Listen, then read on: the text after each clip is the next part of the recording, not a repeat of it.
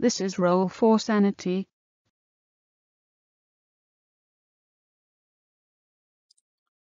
Hey, is Sean. What is going on? Got an email from Sam, uh, Shadow and almost said Samson. I get I get emails from Samson, the company that makes my microphone here. Um, I got a mail, an email, an electronic mail from Shadow and Son asking me. He asked me, uh, what do you do when the players doing all the things, messing up your game?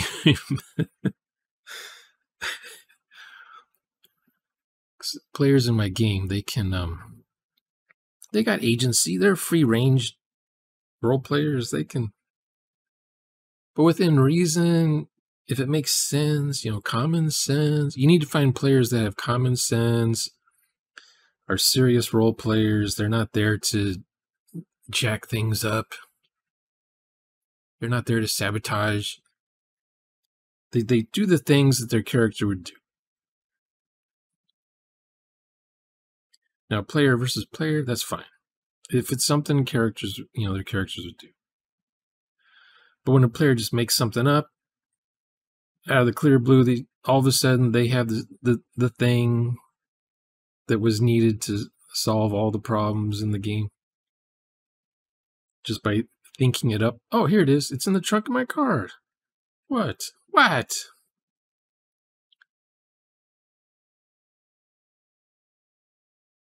Anyway, I thought I'd see if one of the oldies out there on the YouTubes, what what would they do? What do they do when the the the players at the table take things in their own direction? Especially if you're running a campaign and the players decide to do something else instead of go in your campaign. After you've told them you're you're running a campaign, which is bizarre to me. Um, this is page 121. See what he says. Today we're going to talk a little bit about what to do when your players take your campaign in a completely different direction than what you have planned. This can happen to pretty much any game master in any game system, but I find it particularly troublesome in my Traveller campaign when the players go completely a different direction than I thought. Now, to be sure, every game I've ever run, the players have done things I didn't expect or they've uh, taken a different direction. Uh, those happen, and it's a game to uh, come with him and just back him up. So, what to do when the players with it? So, there's going to be a, a couple of things. Case I've recently had that happen in my Traveller campaign. What you had anticipated. So, all the research and development that you'd done. Sure, every game I've ever run, the players have done things I didn't expect or they've uh, taken a different direction. Um, um, um, um. I agree. I agree. So far. uh, players will do things unexpectedly with their character, things you didn't think of. Um, but that's different. That's more like a, oh, that's cool. That's that's more than I had planned to do for the game session. And then you kind of go with it. You know, the players decide to jury rig something. The uh the rift or whatever keeps opening, the players figure out a way to uh, at least control one of the rifts. Like, whoa, what? You know, that kind of thing. That's fine. Uh, those happen, and as a game master, DM, whatever you are, you have to be prepared for those. However, sometimes the players go a completely different direction than what you had anticipated. So all the research and development that you'd done kind of goes out the window, or if it's a traveler, in out the lock. In my case, I've recently had that happen in my traveler campaign. I'm going to talk about that a little bit and how I'm dealing with it, uh, and how I'm planning on dealing with it in ways I don't think you should deal with it. So it's going to be what? What?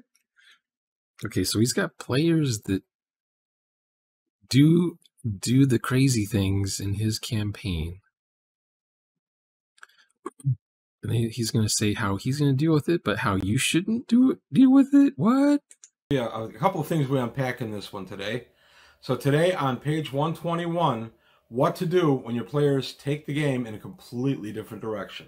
So what to do when the players take your campaign in a different direction. I'm going to go over.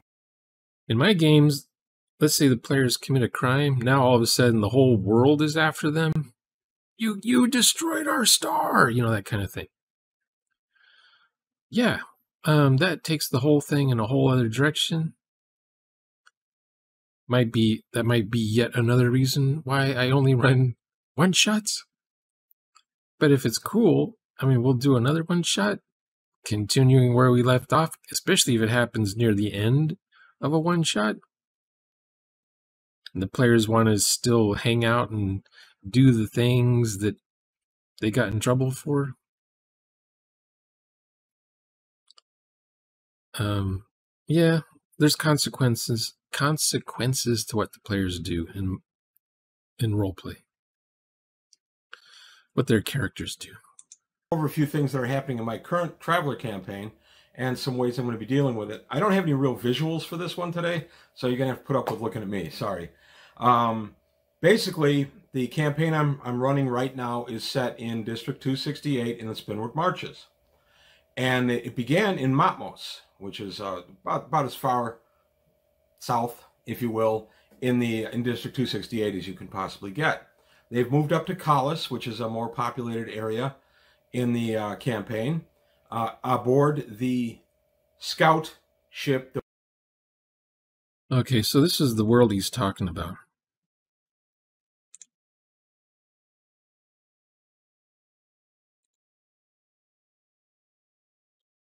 Let's see, what does it look like?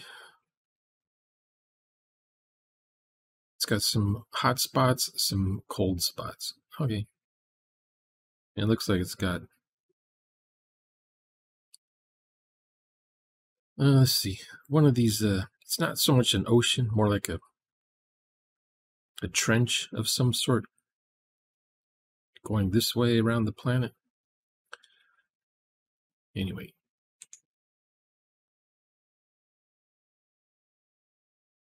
I don't think I've ever played in this subsector before. It's always Glisten. I'm always in Glisten. I don't know why, but we never probably because probably because that's there's not you know, this is like the neutral zone, as it were. Anyway.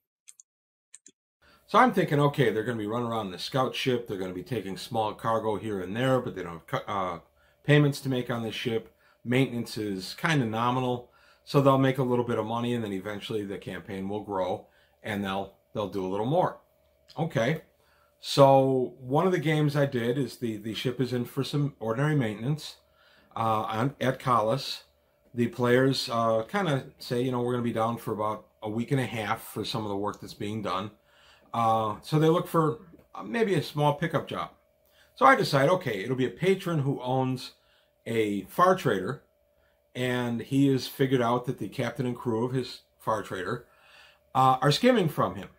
So he's decided he's going to fire them, and uh, he hires the players as kind of muscle to uh, come with him and just back him up in case things get rough.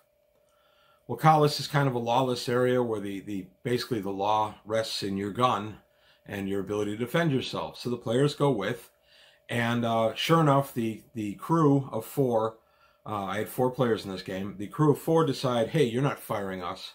No way. A fight breaks out, uh, ends up with one of the, the bad guys getting uh, seriously injured and then killed. And uh, one of the players took some injury and things like that. So, okay, ordinary enough travelers so far. So then one of my players says, hey, what if we crew this ship for you? I'm thinking, oh, okay, that could be kind of cool. I hadn't really thought of that as a consequence. I guess I should have. But for whatever reason, I didn't really think of it. I thought this would be a nice little side job for them. They'd pick up some money while their ship was down. They'd get back in their scout ship and off they'd go. So they say, okay, what if we crew your ship and, and we take the cargo and then you pay us?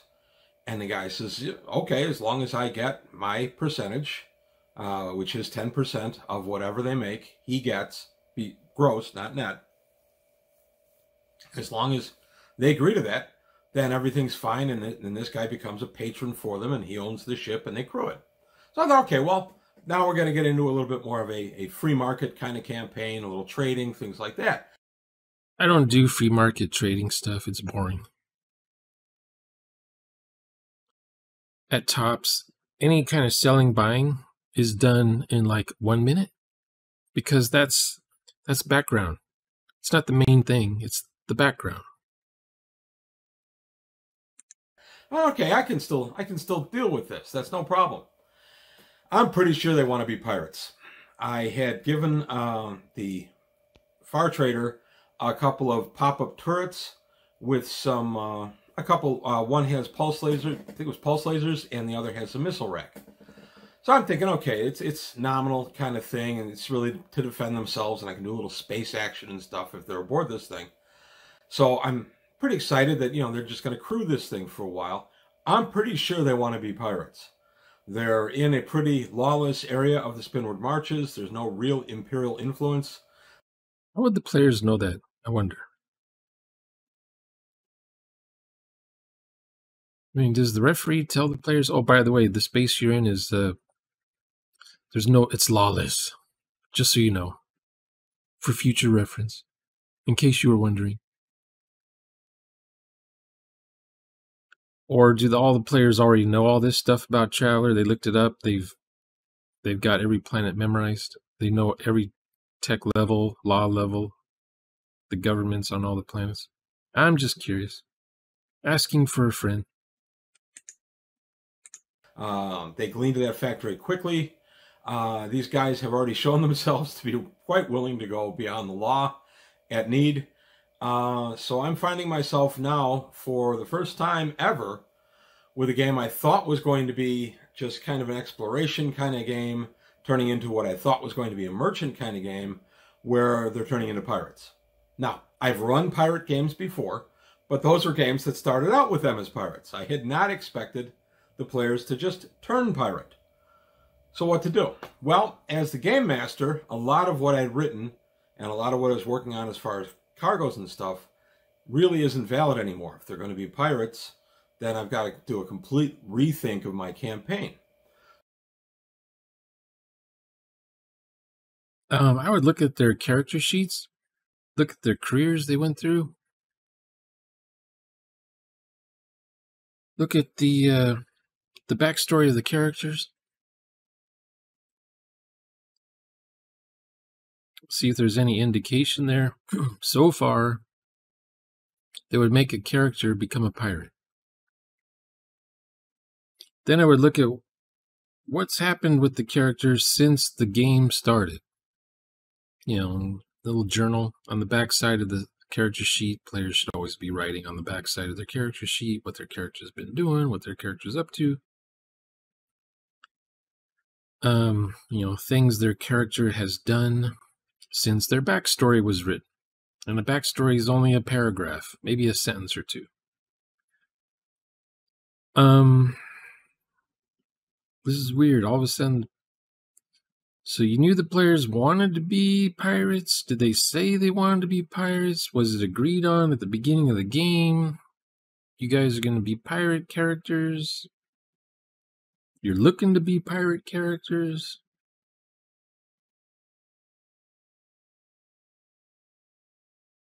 I haven't heard roleplay yet. Have I? Has he said roleplay at all in this video?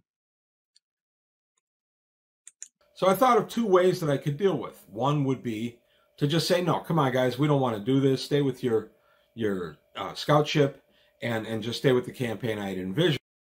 This this kind of talking with the players, I hate. I I hold off until after the session. I don't. In the session, everyone's in character. After the session, we can then talk about what what happened, what just what just happened, you know, that kind of thing, and uh, talk about it and see what's going on. You know, is this okay with everybody that's happened? What you know, what's happened so far? Was this where we expected ourselves to be in? You know, that kind of thing. Uh, anything needs tweaking before we start another session? With these characters, that kind of thing.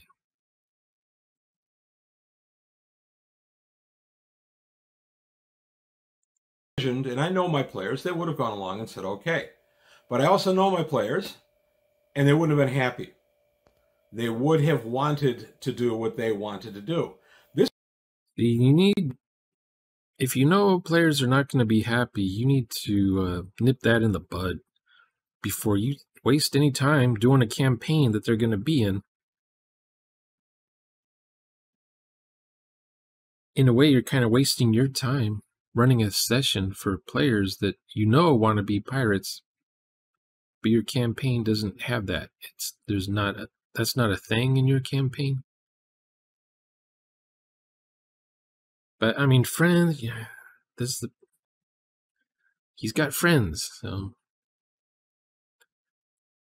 they don't necessarily make the best role players. This particular group, for whatever reason, and these are my my normal players, both my sons, my friend Craig, and my friend Roy. They play D and D with us all the time. They play good aligned characters all the time. Once in a while, they just go south and want to be criminals in something. And I did not anticipate it in my Traveller game, but here we are. So it sounds like they're just out of character. They're looking at their stats going, hey, I might be a good pirate in this game. or he hasn't said it yet. Maybe his players play Traveller like it's D&D. Kill the things, take their stuff, get XP, level up. Well, Traveller has some of those things. So now I could choose that one way where I say, no, you go, you go with what I've written, and and I, you're going to stay with everything I've written, or I go their way. Well, I'm going their way. Uh, they were pretty excited about the possibility of becoming pirates. Uh, they've even got aspirations to maybe capture a ship or two and hire their own crews and kind of set up a little pirate criminal enterprise. I've made it clear that this is not going to be with any kind of uh, nasty is this is this what their characters would do though? That's the thing. I'm waiting for the the key word here, role play. It's what my character would do. Players want to play a pirate game. Fine. Does it make sense though?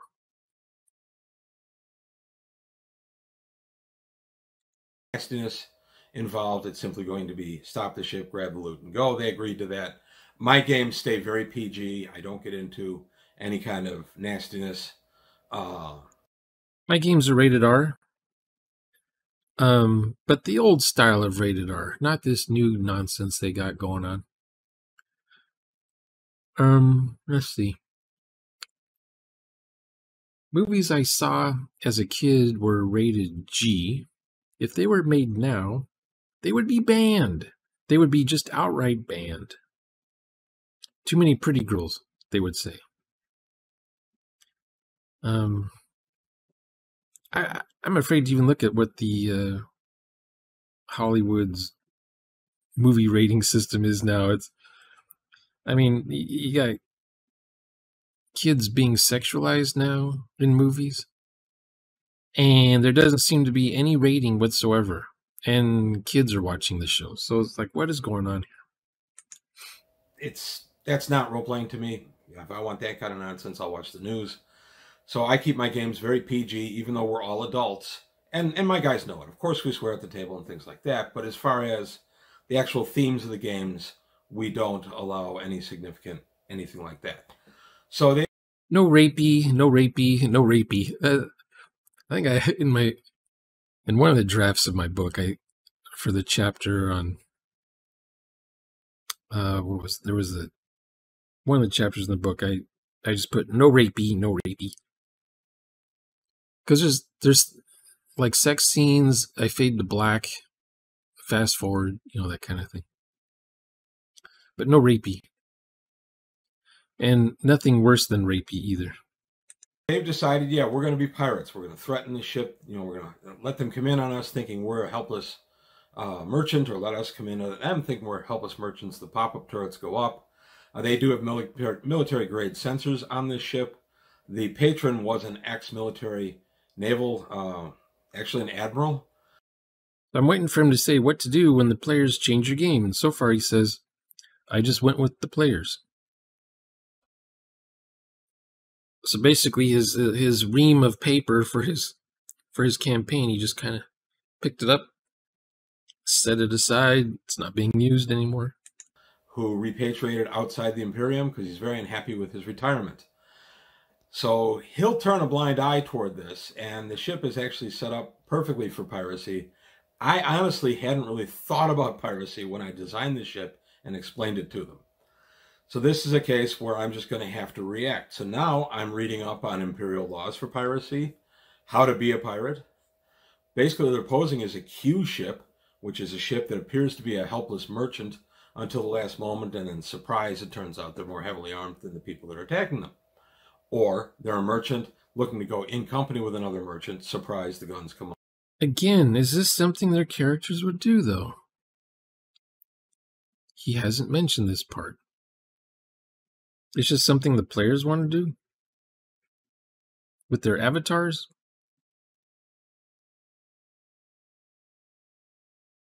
Up and they have the merchant helpless. So it's interesting, and it's taken my research completely different direction than I thought it would. Uh, that's good, actually, because I'm reading stuff I wouldn't have read in, in conjunction with this. When he talks, he does a lot of shaking like this like what he's saying, he doesn't agree with what he's saying when he does this. This is something that uh, Hillary Clinton does. When she talks, she does this. That she's letting you know that she doesn't believe her own words. Campaign of older traveler stuff. I'm even reading some stuff on actual pirates. I'm watching some YouTube videos on actual pirates, uh, pirates, you know, in the real world, our real world. And uh, I want to give a nice flavor to this. So, as I said, there were two ways I could see to react to their desire to do this. One is to say, no, let's stay with the campaign I designed. Look at all the hours of work I've put in. Or the other is to say, yeah, let's go for it. I'll put in more work. I always prefer to go with the campaign where the players take it. Uh, this is true in any campaign I run, D&D, Traveller, Gamma World. Any direction they choose to go, I, I modify and adapt. I just ask them sometimes, okay, this is halfway through the game night. You know, we still have an hour and a half to play. I hadn't anticipated this, so I'm going to be winging the rest of this game, and now I'm going to need a little more time to prep the next one. They're always very patient with that. They're fine with it. They're not doing any work. I am. Yeah, when players do the work, they're actually invested in their character, they're invested in the game, they're invested in the setting, the story, all the things that's going on.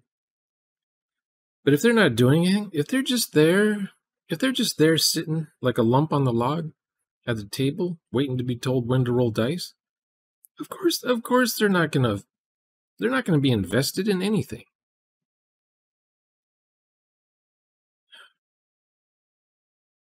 Anyway, I can't watch any more of this.